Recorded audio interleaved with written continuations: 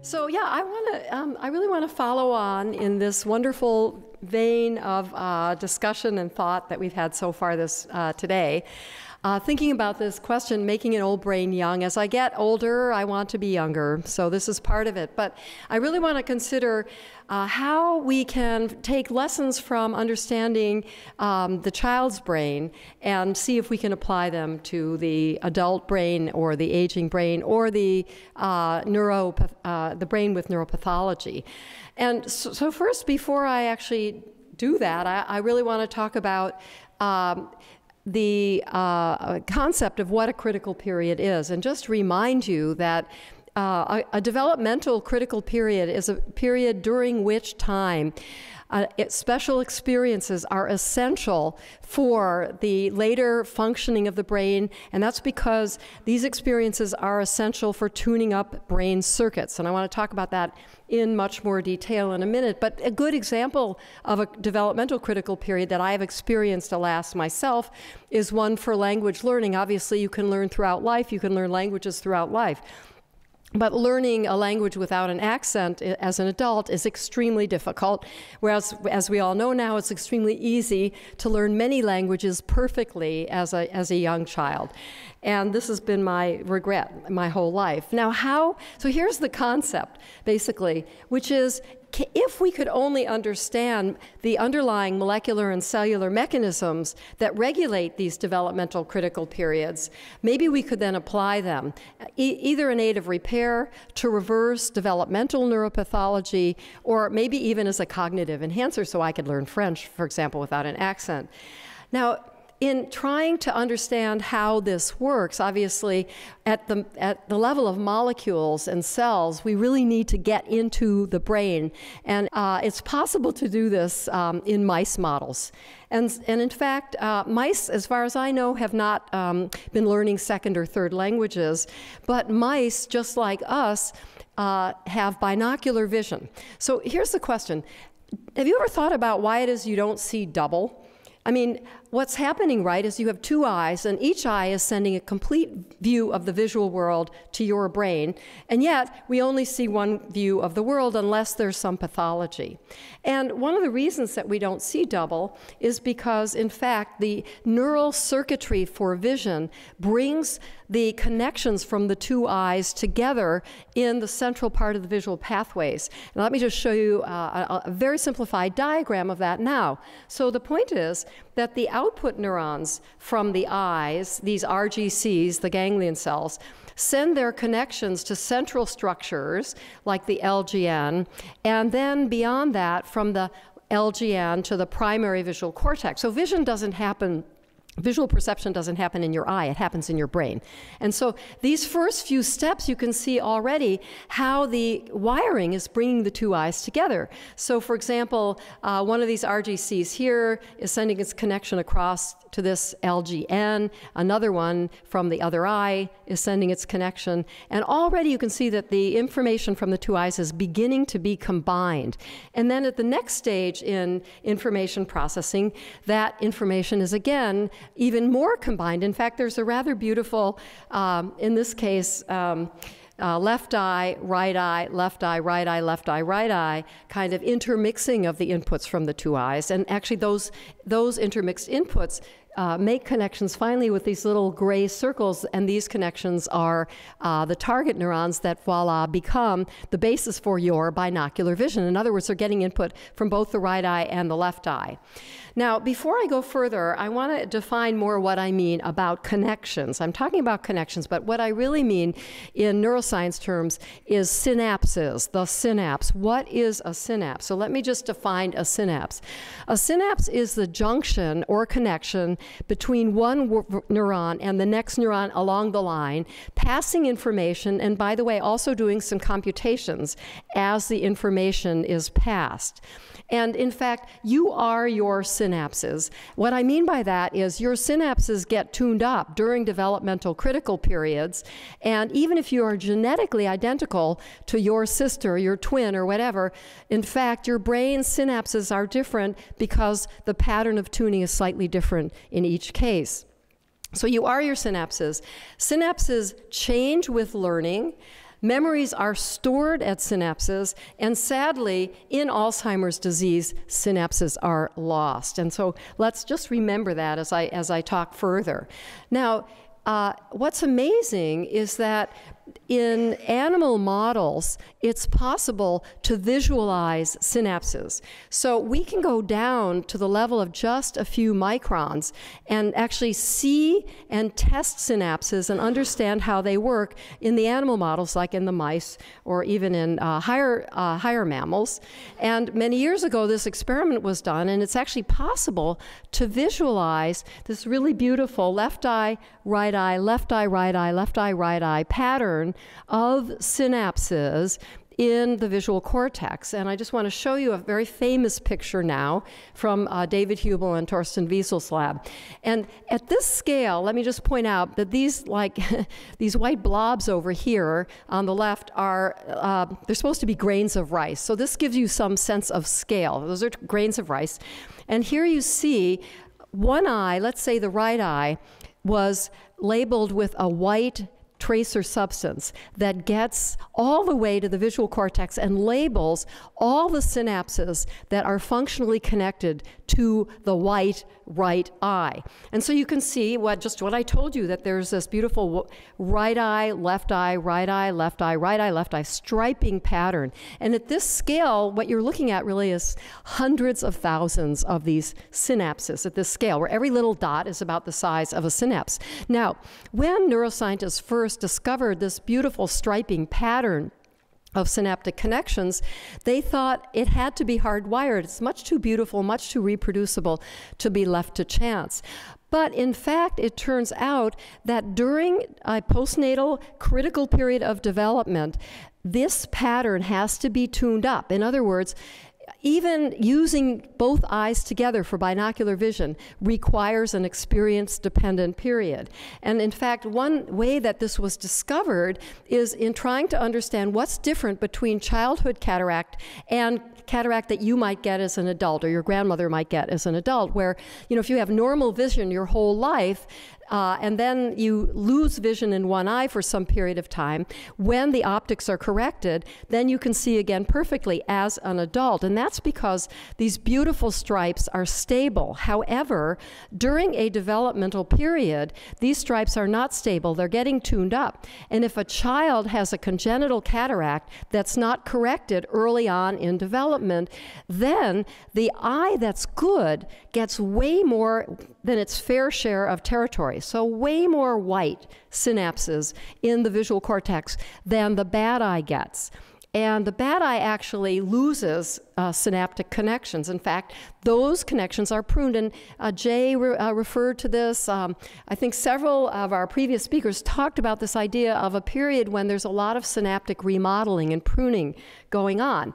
And that's what I want to really talk about now.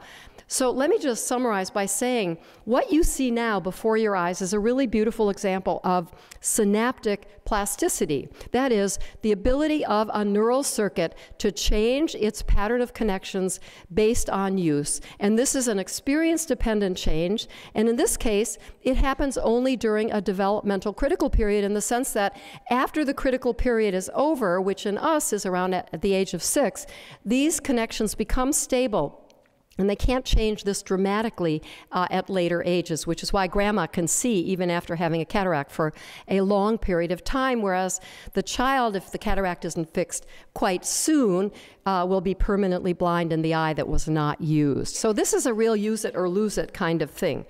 So, you know, let me just summarize here again by saying then that the baby's brain uh, just like the adolescent's brain, is not a miniature version of the adult brain. It's a dynamically changing structure.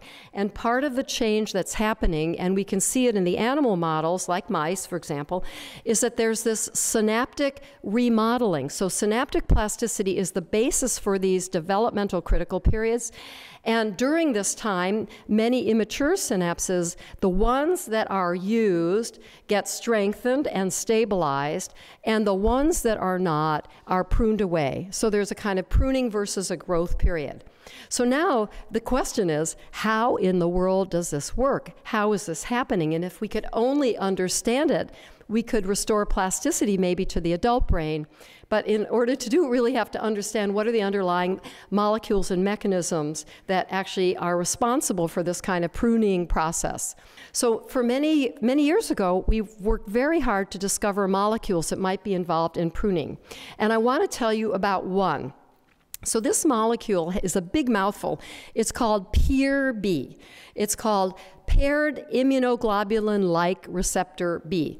And it's very cool that it's a receptor. The reason I emphasize that is because if you have a receptor, it can be targeted for a drug or a pill. As I said, this is like my dream, but we're not there yet. But it's good that it's a receptor. And the question is how can we show that this molecule is actually involved in plasticity? So, one way that it's possible in a mouse, anyhow, is, uh, well, first of all, I should say that this molecule is present in the brain, it's in the neurons. Happily, it's in our favorite parts of the brain that we like to study all the time the visual cortex in the mouse and the hippocampus in the mouse.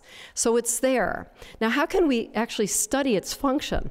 Well, in mice, it's possible to remove that particular molecule by taking away just that gene from the whole genome of the mouse. So there are 30,000 genes or so, and one can remove just that gene. And uh, from the very beginning of development, for instance, uh, so we can make what's known as a PIR-B gene knockout. And we can then uh, either remove the gene from the very beginning of development, or if we're really fancy, we can take it away at any time of life, and then we can test is this gene needed for whatever, synaptic plasticity. And the bottom line is what we discovered is that, in fact, in these gene knockouts, uh, in fact, there is not only is the gene needed, but there's actually more synaptic plasticity than, in, than normal. And I'm happy to talk about this later, but just take my word for it. PIR-B is, is needed for synaptic plasticity. And so then we asked, how is this happening? What is actually going on? And you already know the answer because I told you. I told you that during that synaptic plasticity involves both pruning and strengthening of certain connections. So we thought, let's look at pruning in these PIR-B uh, knockout mice. And to make a long story short, what we discovered is that pruning is deficient. And the way we did this experiment was to label some of our favorite neurons in the brain, these little green dots, with a green tracer substance. And then we could actually uh, look at very high power over here, we could look at these little protuberances, which are the sites of the synaptic inputs to these particular neurons. And then we could count them all. And when we did that experiment in normal wild type versus PIR-B knockout mice, what we discovered is that there were actually way more of these connections in the knockout mice than in the wild type mice. And that actually persisted all the way into adulthood. And what we'd actually discovered is that somehow PIR-B is required for synaptic pruning. And in the absence of PIR-B, so in this knockout mouse, what we discovered is that pruning was deficient. The seesaw went in favor of synapse formation, genesis, and stabilization, and away from synaptic pruning. Okay, now there's a lot more one could say about this, but actually, what I really want to talk about is boing, a light bulb went off for us. Actually, a few light bulbs went off for us, but I want to tell you about one. Here's the light bulb. The light bulb is that in Alzheimer's disease, there's excessive synapse pruning. And this is thought to be caused, at least in part, by uh, these bad plaques and tangles that are formed by the accumulation of a substance called beta amyloid, which actually uh, conglomerates to make very large plaques and tangles. And it's thought that this beta amyloid is part of what's uh, responsible for loss of memory in, in uh, Alzheimer's disease. So, question is, is PIR-B involved? Because remember, PIR-B is a pruning, is needed for pruning, and here we have too much pruning in Alzheimer's disease. So how would you study that? Well, we've studied it in a large variety of different ways, but the first way is PIR-B knockout mice, please meet Alzheimer's disease mice. So, what do I mean by that? So, neuroscientists can make mouse models of disease, and what they can do is they can actually put into the mouse the human disease gene the mutated gene. And sadly for the mice, but thank you, mice, the mice can then end up with a human disease. And in the case of Alzheimer's mice, there are a variety of models, but in, in this case, we, uh, there are two genes that are known to cause early onset family Alzheimer's. Both of these are put into the mouse, and the mouse uh, at about nine months of age, gets the plaques and tangles, and sadly also uh, serious memory loss. So what we did is we, we, we decided, let's see what happens if we remove PIR-B. Remember, if we remove PIR-B, then there's no pruning that happens. So what happens in Alzheimer's mice that don't have PIR-B? And amazingly, when we studied their memory performance at nine months of age, they were protected by, uh, from memory loss in the absence of the PIR-B molecule. So that actually kind of makes sense. It's rather exciting, at least to me it is. Um, so how does this happen? So again, to make another really long story short, what we discovered is this PIR-B receptor is actually hijacked by the bad this, this beta amyloid. And what do I mean by hijack? What I mean is that PIR-B, as I said, is a receptor, which always gets everybody excited in terms of making drugs. A receptor is a protein on a cell that does work for the cell. It takes information from outside of the cell and it actually transfers that information to inside of the cell where, the, where it can do work. And in the case of PIR-B, that information is part of the pruning process. And nor, there are normal ligands for PRB, including this thing called MHC class 1. So what we think is happening is that beta amyloid is also binding to this PRB molecule and driving pruning to excess. So the other point I want to make is that it turns out that there are actually uh, human um, uh, homologs of PRB. There are quite a number of them. And what we discovered is that one of them, called another mouthful, I'm not even going to write it out for you, it's called LILRB, 2, so it's very similar to PRB, and this human homolog is also binds, it seems to be hijacked by the PRB, by beta amyloid, and it's also present in the human forebrain, and the signaling caused by uh, binding of, of, beta amyloid seems to be uh, also derailed in the same way in the human Alzheimer brain as it is in the mouse brain. Okay, so now I'm going to summarize. Okay, so what I've suggested is that Alzheimer's disease, um, which is thought to be a, uh, a, problem of synapse pruning, may be driven by beta amyloid PRB interactions. Definitely worth following that up. So pruning, you know, is, is accelerated in this case, and uh, what it also suggests to us is there might be a pill in there after all. Um, and what's great is that we could even maybe make a pill based on the fact that there's a receptor here. We know exactly what to do. And in fact, we have made a little pill and tried it out in, in mice. And so the last point I want to make is stay tuned. So I think it's really interesting that PRB or LILRB blockade might represent a, a slightly different therapeutic approach for treating Alzheimer's, but maybe also other pruning disorders. Now, this might be good in the sense that I don't know if you read recently, but there was another failure of another major Lilly uh, Alzheimer disease uh, drug trial. So it's it's really I'm like I'm getting older. I would really like something soon. I want these trials to succeed. But maybe there's a pill, but even more interesting, I think, is that, in fact, lessons from neural development may offer new treatment avenues for Alzheimer's disease and other pruning disorders. So, with that, I just want to thank everyone. Thank you all. And also, I want to thank our organizers. And I have to remind everyone that this experiment was done, uh, these kinds of experiments, with many, many students and colleagues and someone. And I would also like to thank the mice. So, thanks, everyone.